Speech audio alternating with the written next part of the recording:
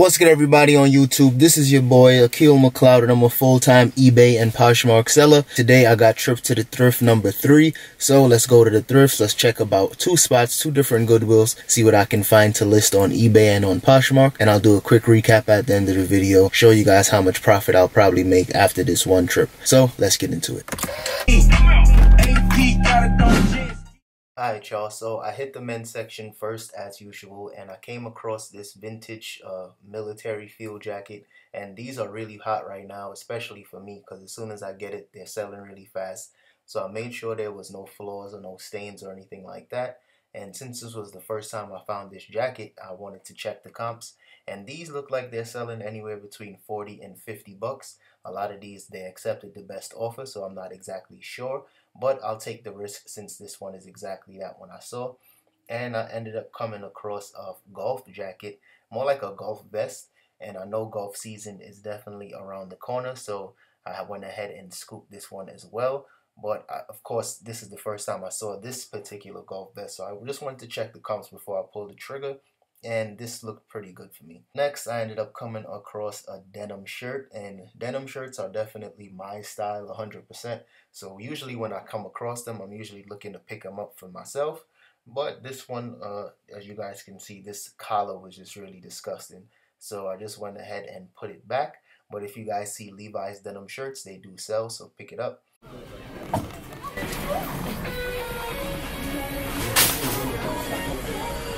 Now I was kind of pressed for time. I didn't want to spend, uh, you know, 30 minutes shuffling through the entire racks. So I did go through some of them and I came across this Quiksilver shirt, brand new with tags. And Quiksilver isn't a great brand, but since it is brand new with the tags, I figured I'll get at least 20 bucks for this. So I went ahead and threw it in my pile. Came across two different Roar shirts, and anytime I pick up these Roar shirts, they usually do sell within at least 30 days. So this fits perfectly with my model, even though the shirts, in my opinion, are really tacky and really ugly. But from personal experience, the bigger the embroidery on the back, the better it sells. And this one, as you can see, had no flaws. The other one was in similar condition. Uh, this one just had some more patchwork to it, so I guess this one was a little fancy if you want to call it.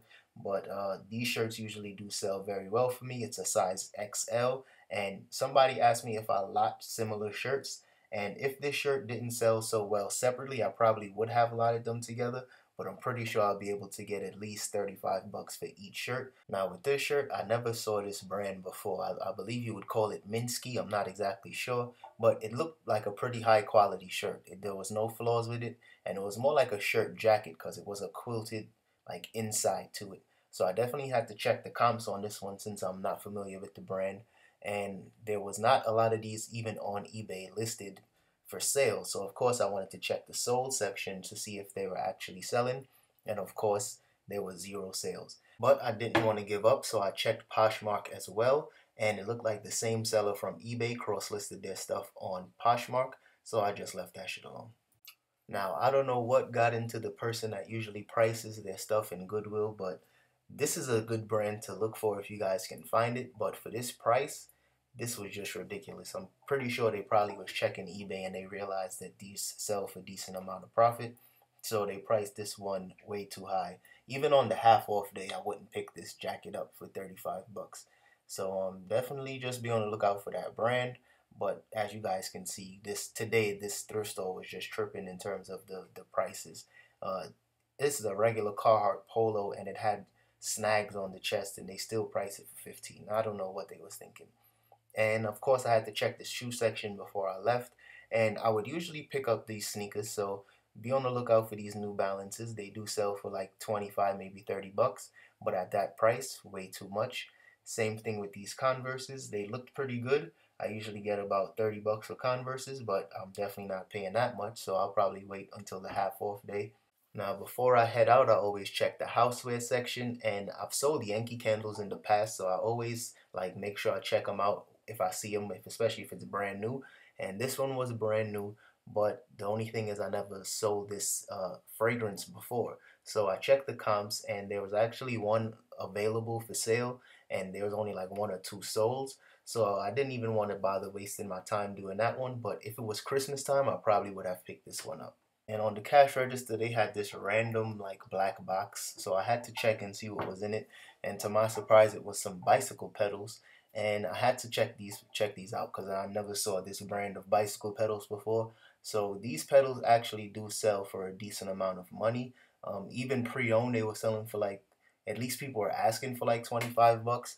But these were clearly brand new in the box. So I'm pretty sure I can get at least 30, maybe 35 bucks for these. So we'll see how it sells on eBay after I get these listed. Yeah, I like it. I like this.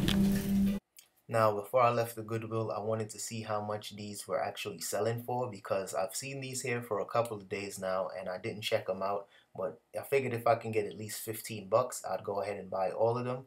But as you guys can see, I'll be lucky if I can double my money on this. So these will just continue to sit.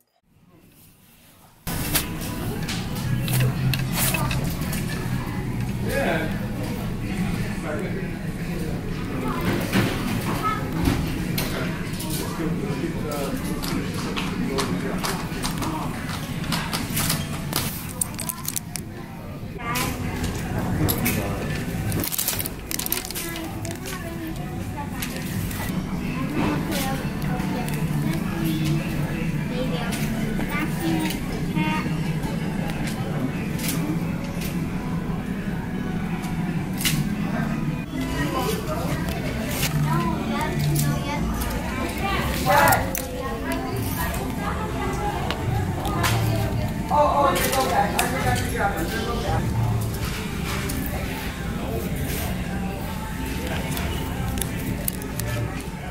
Actually got pretty excited when I saw these Nerf guns because I know some resellers they sell these and they make a ton of profit.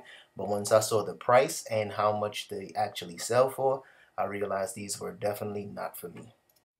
Alright y'all, so we back in the crib for a quick recap and in my opinion this video wasn't full of bangers like you guys see in some of my other videos like in some of my thrift hauls where I just share some of like the highlight reels of what I found during the week but I think this is a better representation of what it's like while I'm out thrifting on a daily basis. I don't find a ton of bangers and a ton of like huge profit items but these items are the ones that usually I would come across on a daily basis and it would you know just keeping a consistent cash flow in the business because even when you do find two and three hundred dollar items items. It might take a month, it might take two months for those things to sell, but a lot of these pieces are the ones that usually just, you know, pay the bills at the end of the day. So I'll just go through a quick little recap, show you guys what I picked up, and share some of the potential profit margins as well. So first up is this vintage pair of Adidas track pants, and these track pants are really dope in my opinion. The thing that I really did like was the fact that it had like that contrast in cuff, and these are the style of pants that I told you guys to be on the lookout for. In my first trip to the thrift, where I told you guys to make sure you're picking up only the tapered slim fitting track pants because the baggy ones usually don't sell that well.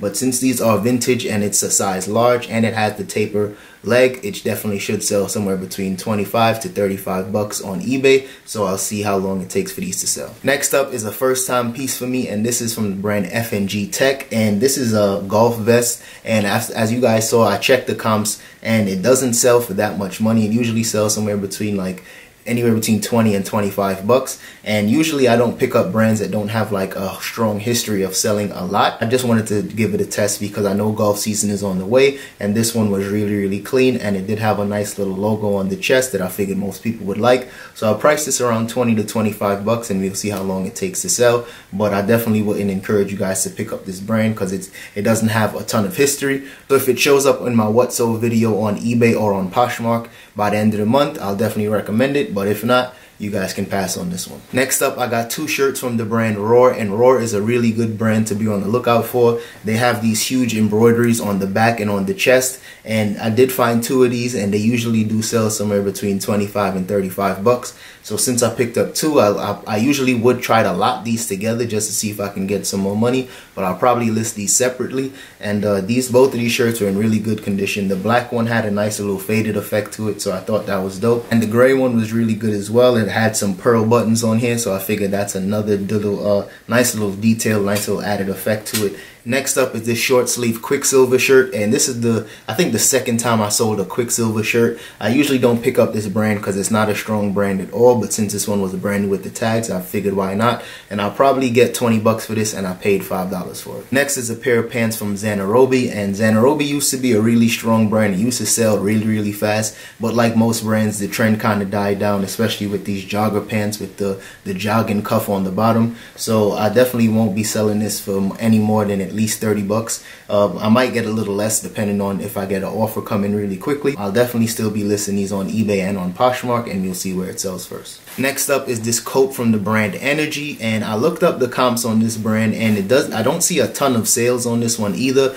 but this one was practically brand new without tags. It even had the little uh, buttons on the inside so I definitely knew nobody wore this jacket so this one I'll probably list it for maybe 60, maybe 70 bucks. And it might sit for maybe two to three months, but I only paid $9 for this. And if it does sell for about 50 to 60, it'll definitely be worth my time. And lastly, in terms of clothes, this is a field jacket from Rothco. And this is the M65 field jacket. And I never saw one of these before, but I told you guys before, utility jackets and field jackets are definitely really, really hot right now. I had to pick this one up. And after I checked the comps, I'll probably get anywhere between like 50 and 60 bucks for this jacket. And like I said, I usually spend about $9 for jackets. So hopefully this one does sell fast. But even if I have to hold on to it for a little while, I wouldn't trip about it too much because these jackets do sell for a decent amount of profit. Next thing that I found out was actually pretty unique was these Chester pedals. And these are actually bicycle pedals. And these were basically brand new. I'm, I'm going to list them as brand new because it does include the original box as well. And you can tell these were definitely never used or else it would have had like some scratches and some scuffs.